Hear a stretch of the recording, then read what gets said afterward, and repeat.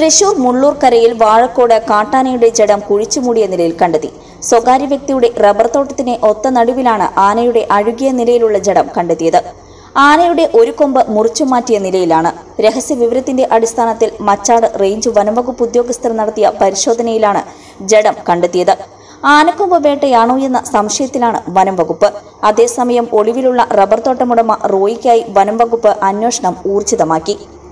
തൃശൂർ മുള്ളൂർക്കര പ്ലാഴി സംസ്ഥാന പാതയിൽ വാഴക്കോടുള്ള റബ്ബർ തോട്ടത്തിലാണ് ആനയുടെ ജഡം കണ്ടെത്തിയത്. രഹസ്യ വിവരത്തെ തുടർന്ന് വനംവകുപ്പ് ഉദ്യോഗസ്ഥർ സ്ഥലത്തെത്തി ജെ ഉപയോഗിച്ച് മണ്ണ് നീക്കി ആനയുടെ ജഡം പുറത്തെടുത്തു. ആനയുടെ അസ്ഥിക്കൂടം പരിശോധനയിൽ കണ്ടെത്തി. രണ്ടു മാസത്തെ പഴക്കമാണ് ഇതിന് സംശയിക്കുന്നത്. പുറത്തെടുത്ത ജഡത്തിലെ ഒരു കൊമ്പ് മുറിച്ചുമാറ്റിയ നിലയിലാണ്. ഇതിനിടെ കോടനാട് നിന്നും വനംവകുപ്പ് ഒരു ആനക്കൊമ്പ് പിടികൂടി. ഈ ആനക്കൊമ്പ് വാടാക്കോട് കുഴിച്ചുമൂടിയ ആനയുടേതെന്ന് വനംവകുപ്പ് നിഗമനത്തിലെത്തി. മുറിച്ചുമാറ്റിയ ആനക്കൊമ്പിന്റെ മുറിപ്പാട് നോക്കിയാണ് വനംവകുപ്പ് ഈ നിഗമനത്തിൽ എത്തിയത്. അതിനിടെ ഡിഎഫ്ഒ വെറ്റിനറി വിഭാഗം കോടനാട് നിന്നുള്ള വനംവകുപ്പിന്റെ രഹസ്യാന്വേഷണ വിഭാഗം എന്നിവർ സ്ഥലത്തെത്തി. ജഡത്തിന്റെ പോസ്റ്റ്മോർട്ടം രാസപരിശോധന ഉൾപ്പെടെയുള്ള നടപടികൾക്ക് ശേഷം മാത്രമേ മരണകാരണം സംബന്ധിച്ച് കൂടുതൽ വ്യക്തത വരൂ. അതേസമയം ഒളിവിലുള്ള സ്ഥലമുടമ റോയിക്കായി വനംവകുപ്പ് അന്വേഷണം ഊർജിതമാക്കി.